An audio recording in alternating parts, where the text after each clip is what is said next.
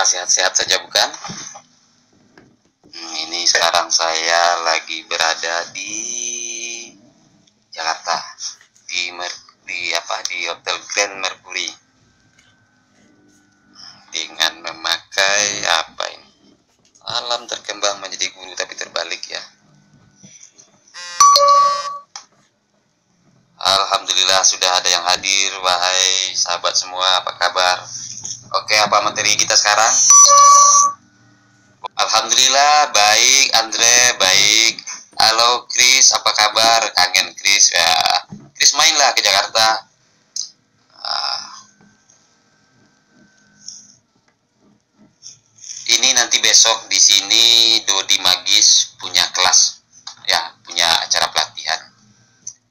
Halo Dinda, Aldatuk si bungsu, betul.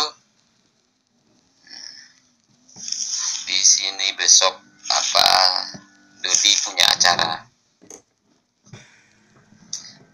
Sahabat, eh dalam pertemuan sedikit ini nasihat buat kita semua. Waalaikumsalam warahmatullahi wabarakatuh, Dinda. Waalaikumsalam.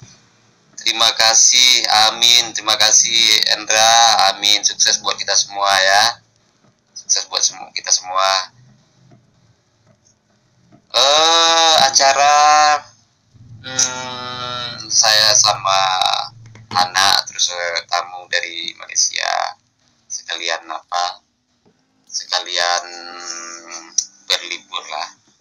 Besok kebetulan ada murid saya punya kelas di sini ada murid Ambo punya kelas di sini Dinda biar sekalian Ambo hadir selamat malam Chris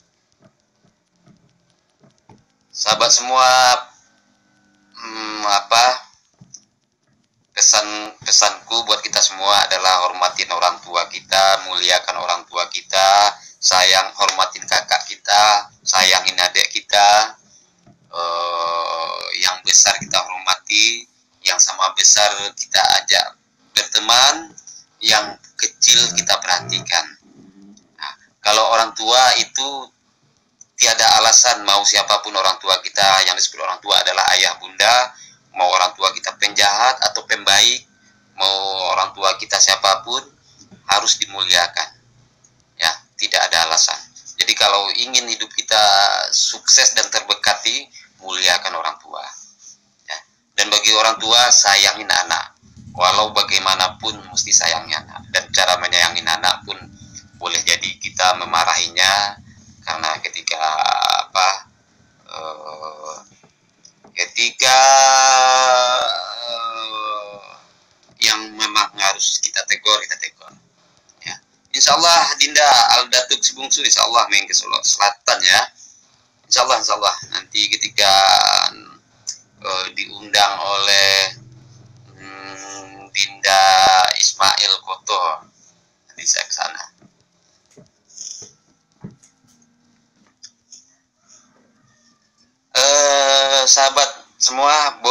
kasih beri aku ide kita mau bicarakan apa. Jadi biar eh, biar eh, selalu ada manfaat di setiap perjumpaan kita. Siap-siap Dinda. Siap siap. Jadi agar pertemuan kita bawa manfaat buat diri saya dan kita semua. Nah, tapi saat ini saya tak punya ide, mungkin dari sahabat semua ada ide, apa yang mau kita cakapkan boleh bebas. Alam terkembang menjadi guru. Jadi apa pun persoalan, apa pun pertanyaan selalu ada jawab. Halo Rizal, apa kabar? Siap, siap tentang penggandaan uang Dimas Kanjeng itu benar atau sulap? Oh, baik baik Linda.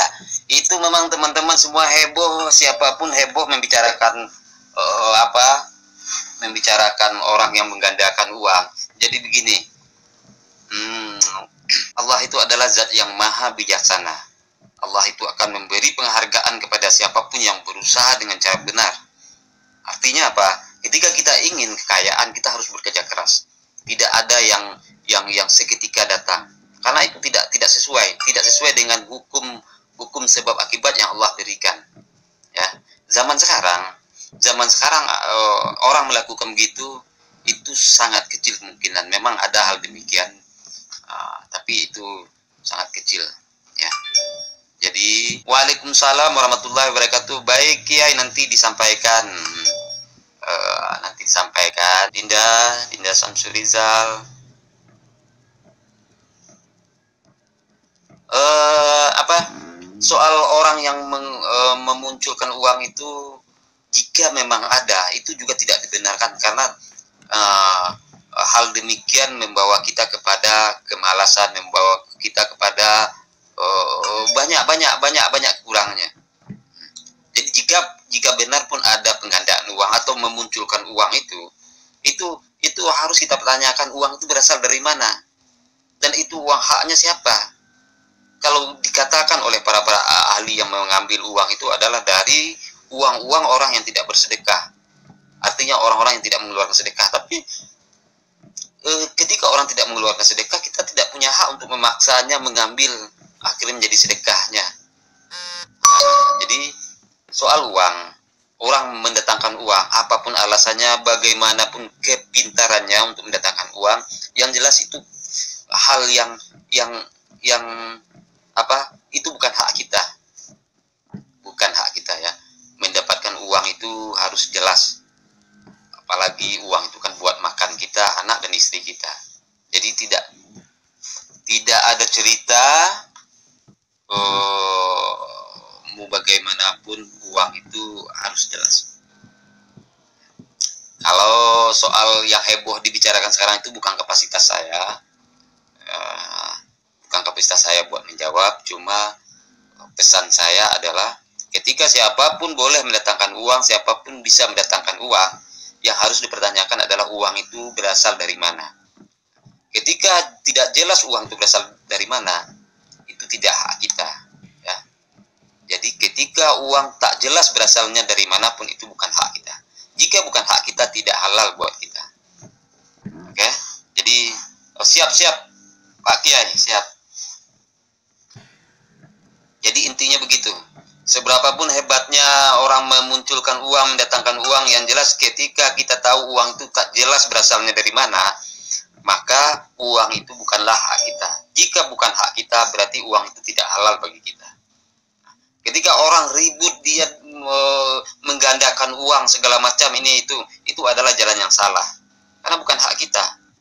Apa pun judulnya. Jadi kita menyikapinya dengan cara yang benar saja cara yang jelas nggak perlu cara abu-abu yang yang kabur buram atau apa atau bahkan mencaci maki. Kejadiannya tidak cuma yang jelas. Jika uh, kita ada di dalam tersebut atau kita terbujuk rayu untuk ikut itu tinggalkan. Karena kalau memang itu nyata kalau memang itu benar itu bukanlah hak kita. Karena apa pun uh, uang apa pun rezeki yang tak jelas munculnya. Uang tak jelas munculnya dari mana itu bukanlah hak kita. Yang harus kita makan adalah yang jelas. Karena dimakan istri kita anak kita akan menjadi darah daging kita.